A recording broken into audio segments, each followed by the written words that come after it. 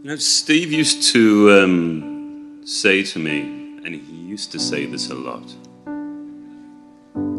Hey, Jony, is a dopey idea. And sometimes they were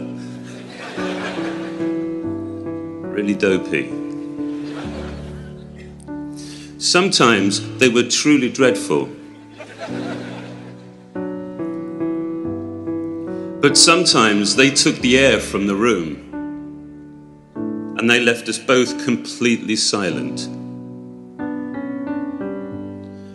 Bold, crazy, magnificent ideas, or quiet, simple ones, which in their subtlety, their detail, they were utterly profound. And just as Steve loved ideas and loved making stuff. He treated the process of creativity with a rare and a wonderful reverence. You see, I think he, better than anyone, understood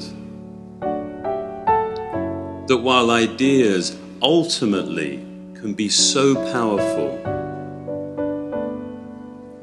they begin as fragile, barely formed thoughts, so easily missed, so easily compromised, so easily just squished. You know, I loved the way that he listened so intently. I loved his perception, his remarkable sensitivity, and his surgically precise opinion. I really believe there was a beauty in how singular, how keen his insight was, even though sometimes it could sting. As I'm sure many of you know, Steve didn't confine his sense of excellence to making products. You know, when we traveled together, we would check in and I'd go up to my room. And I'd leave my bags very neatly by the door. And I wouldn't unpack.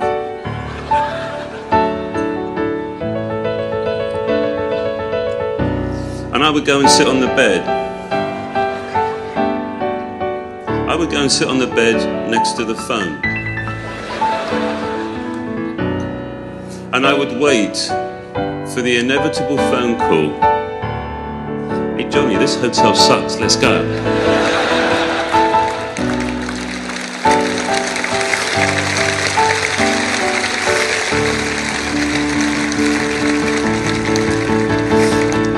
He used to joke that the lunatics had taken over the asylum as we shared a giddy excitement spending months and months working on a part of a product that nobody would ever see. Well, not with their eyes. But we did it because we, because we really believed that it was right, because we cared.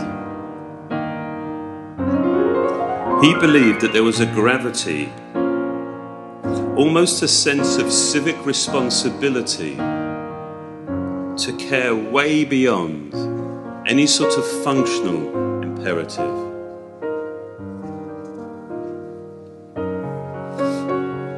Now, while the work hopefully appeared inevitable, appeared simple and easy, it really cost. It cost us all, didn't it? But you know what? It cost him most cared the most. He worried the most deeply. He constantly questioned Is this good enough? Is this right? And despite all his successes, all his achievements, he never presumed, he never assumed that we would get there in the end. When the ideas didn't come, And when the prototypes failed, it was with great intent, with faith, he decided to believe we would eventually make something great. But the joy of getting there, I loved his enthusiasm, his simple delight, often I think mixed with some relief. That, yeah, we got there, we got there in the end, and it was good. You can see his smile, can't you?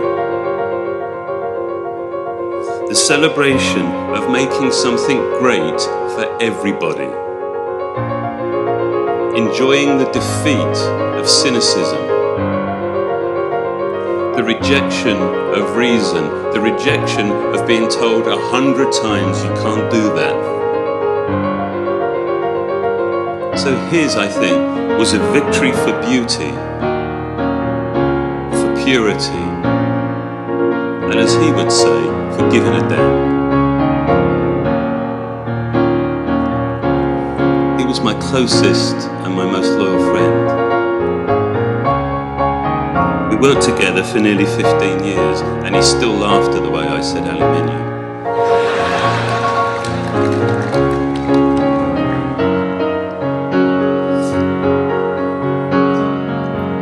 Past two weeks, I think we've all been struggling to find ways to say goodbye.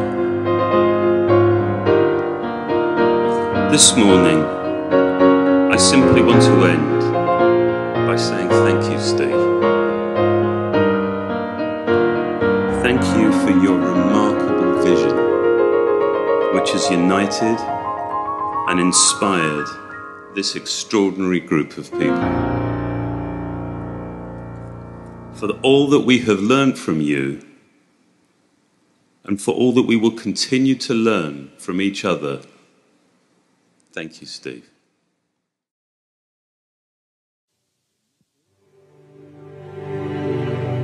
Here's to the crazy ones, the misfits, the rebels, the troublemakers, the round pegs in the square holes, the ones who see things differently. They're not fond of rules, and they have no respect for the status quo. You can quote them, disagree with them, glorify or vilify them. About the only thing you can't do is ignore them because they change things. They push the human race forward. While some may see them as the crazy ones, we see genius. Because the people who are crazy enough to think they can change the world are the ones who do.